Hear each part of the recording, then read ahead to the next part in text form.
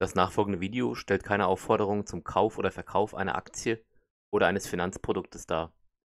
Es handelt sich um keine Anlageempfehlung, sondern lediglich um eine Information.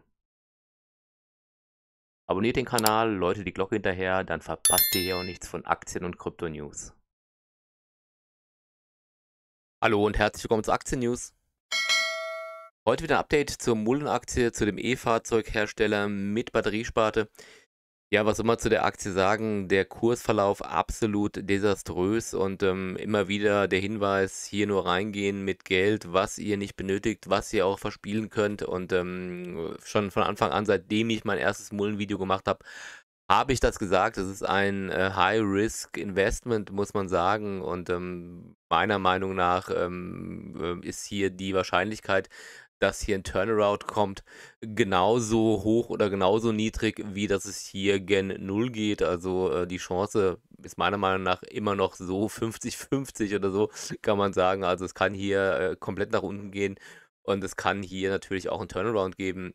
Ähm, die Produktion hat ja noch nicht begonnen. Im dritten Quartal beginnt die ähm, Produktion und dann beginnt erst dieser hohe Cash Burn.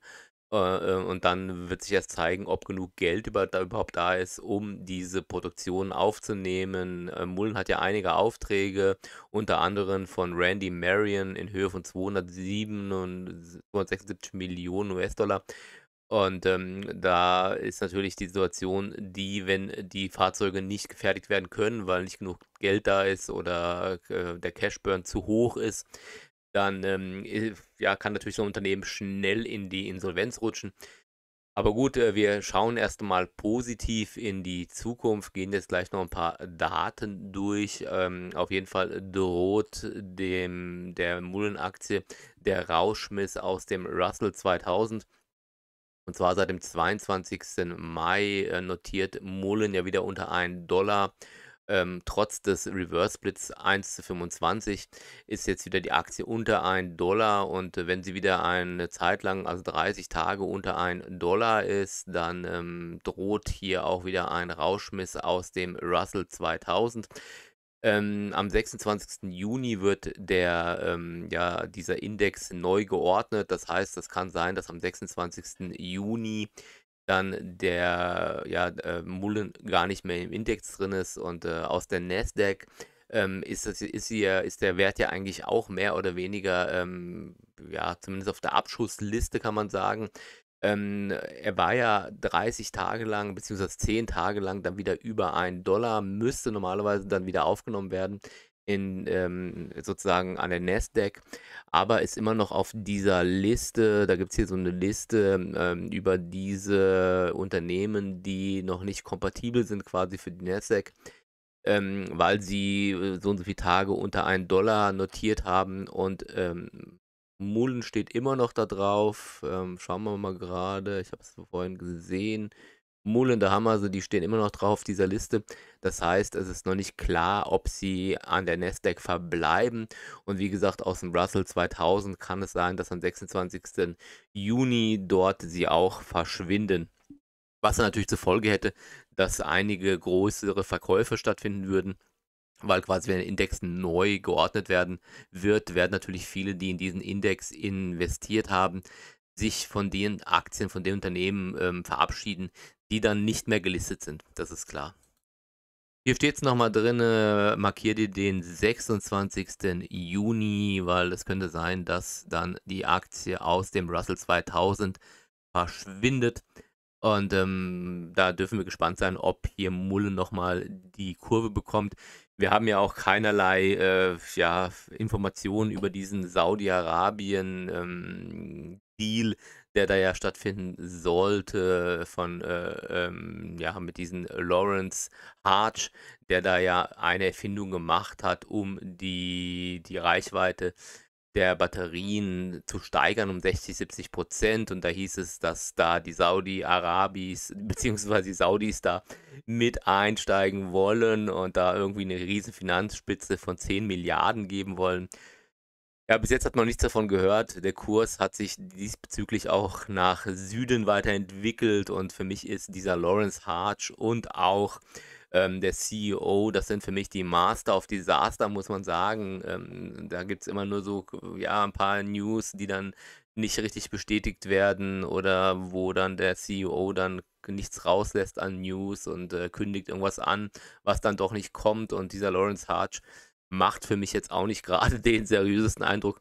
Ich bin hier investiert nach wie vor in Mullen. Ich verkaufe jetzt nicht jetzt den Kurs. Ich meine, ich habe jetzt schon sehr, sehr viel verloren an Geld hier beim Mullen. Was heißt sehr, sehr viel? Ich habe nicht so viel investiert, aber es ist natürlich schon viel, einfach mal was zu verlieren, wo man äh, sich sagt, ähm, ja, äh, das ist quasi verbrannt worden von einem Unter Unternehmen, weil ständig wieder neue Aktien auf den Markt gekommen sind und weil, äh, ja, weil einfach diese, diese Zuverlässigkeit nicht da war von dem CEO und ähm, dass da einfach ja eine Verlässlichkeit nicht da war.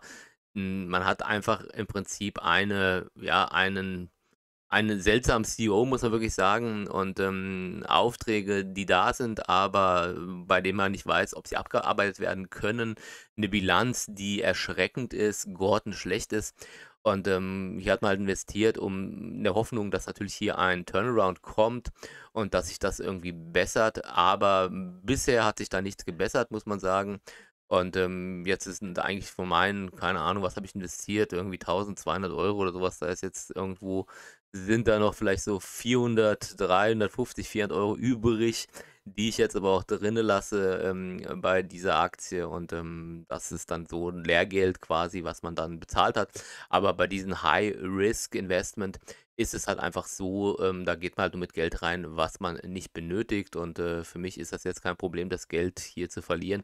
Aber ärgerlich ist es natürlich, weil man merkt irgendwo, dass hier Versprechungen gemacht wurden, die dann irgendwie nicht gehalten worden sind.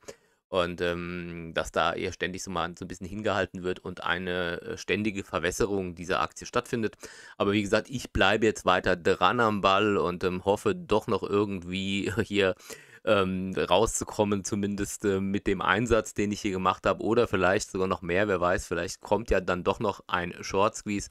Wir haben ja ähm, hier dieses Short Interest nach wie vor von über 20 Prozent, was wirklich sehr viel ist wenn sich die Shortseller eindecken müssten oder würden, weil hier vielleicht eine Finanzspritze von Saudi-Arabien kommen würde, dann äh, könnte dieser Kurs natürlich schon auch ähm, explodieren, vor allen Dingen, wenn halt die Investoren ihre Aktien halten und nicht verkaufen. Und da wir hier auch viele Apes drin haben, die auch bei AMC drin sind, sind es ja gewohnt, sagen wir mal so, äh, ja, diese schlechten News, beziehungsweise dass bei Good News auch der Kurs weiter runtergeht, weil hier gab es auch genug Good News, muss man sagen, aber der Kurs hat da nicht drauf reagiert, weil hier müssen erstmal Zahlen folgen, bevor äh, quasi hier überhaupt irgendwas passiert. Es müssen positive Zahlen kommen und solange die nicht kommen, wird hier auch nichts passieren.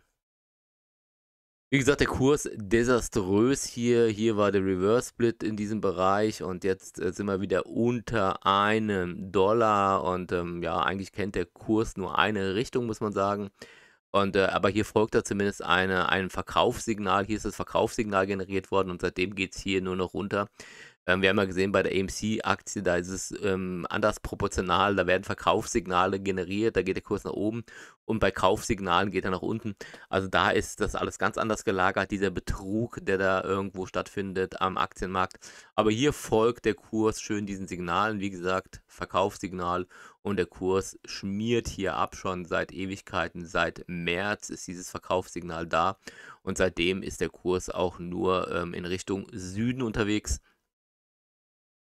Ähm, das haben wir jetzt schon gesehen. Ja, und da gab es eine positive Nachricht, und zwar äh, Mullen erhält eine Finanzspritze in Höhe von 20 Millionen US-Dollar und äh, gibt dafür auch 242 äh, Millionen Mullen-Aktien auch äh, weiter, äh, verkauft die weiter. Und ähm, ein Unternehmen, Achievers Capital, äh, Chuitas Capital, keine Ahnung, wie es ausgesprochen wird. Das ist das hier unten. Und zwar, ähm, die geben die Finanzspritze in Höhe von 20 Millionen. Und das restliche Geld wird dann quasi am, ja, das sind nochmal 45 Millionen Dollar, die nochmal ausstehen. Am 12. Juni werden die noch ausgezahlt. Das heißt, hier kommt ein bisschen an Cash rein. Ob das jetzt genügen wird für eine Produktion, ob das genügen wird, um ja, um hier diese Autos, diese Fahrzeuge, die man schon im Auftrag hat, zu produzieren und dann guten Umsatz, positiven Umsatz zu generieren, das werden wir sehen. Wie gesagt, hier heißt es auch abwarten und Tee trinken für denjenigen, der bis jetzt noch nicht verkauft hat. Ähm, und für Neuinvestoren natürlich nur reingehen mit Geld, was ihr nicht benötigt und wo ihr sagen könnt, okay, das ist dann auch irgendwann mal weg vielleicht dann äh, ist das hier alles kein Problem. Da kann man hier dann solche Durchstrecken hier aussetzen. Aber wie gesagt, es gibt immer wieder Good News, viele Aufträge, aber ähm, momentan der Kurs, wie gesagt, ein reines Desaster und für mich der CEO und dieser Lawrence Harch äh, natürlich die absoluten Master of Desaster, muss er wirklich sagen. Ja, bekommt die äh, Mullenaktie noch die Drehung? Hm, ja, schwer zu sagen, muss man sagen. Also ich, ich denke, hier besteht die Chance 50 zu 50 irgendwo, dass es dann doch nochmal ähm, glimpflich abläuft. Ähm, wir werden sehen. Momentan sieht es natürlich äh, äußerst schlecht aus, weil der Kurs halt total im Keller ist. Und wenn es wirklich nochmal aus dem Russell 2000er rausgeht, wird es nochmal weiter runtergehen. Und äh, wenn die Nasdaq die, äh, die Aktie nicht wieder aufnimmt, dann wird vielleicht noch ein Reverse-Split stattfinden. Es kommen immer neue Aktien auf den Markt, das heißt, es wird immer weiter verwässert. Also hier gibt es eigentlich keine wirklichen positiven News, hier gibt es nur eine Hoffnung, dass vielleicht irgendwie dann doch noch ein Turnaround kommt, in dem die Fahrzeuge hergestellt werden, die dann quasi ähm, ja, bestellt wurden beim Mullen und dass die dann verkauft werden und dann der Umsatz dann sich doch anders da entwickelt, beziehungsweise das Unternehmen überhaupt Umsatz generiert und hier ähm, was verdient. Gut, das war es jetzt von meiner Seite aus zum Update von Mullen und ähm, würde mich auf jeden Fall freuen, wenn ihr den Kanal abonnieren würdet und die Glocke der Leute, damit ihr nichts verpasst von Mullen und von anderen Aktien und auch Kryptowährungen. Ansonsten lasst es euch gut gehen und wir hören uns wieder. Tschüss.